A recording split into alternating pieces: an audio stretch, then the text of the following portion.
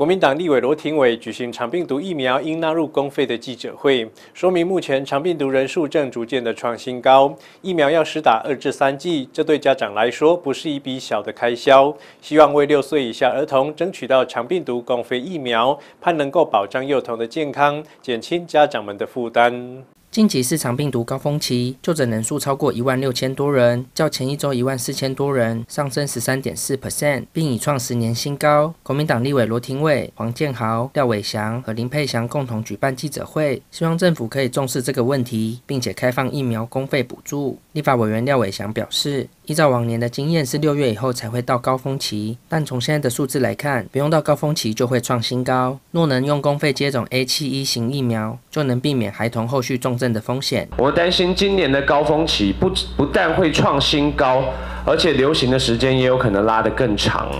那尤其是我们肠病毒的 A 七十一型的传染力非常的强，很容易引发这个幼童的神经并发症。那疾管署也在新闻稿里面也说过，五岁以下的小朋友更是这个肠病毒重症的高风险群。记者会中，罗廷伟亮出自己孩子的疫苗施打卡，从肠病毒疫苗到流感，总共就有四张疫苗卡要施打。对一般家庭已经是不小的支出，更难想象经济状况较不好的家庭该如何选择。罗廷伟表示，近一个月全台已经有五百五十二个班级停课。肠病毒症状较严重的 H1 型疫苗，目前就只能自费约四千元，要打二到三剂，公费疫苗选择少且保护较不全面。目前评估一个孩子从三岁到六岁要打的疫苗，就要约花费三万元。我们可以看到很多的家长会对于比如说流感疫苗有公费的，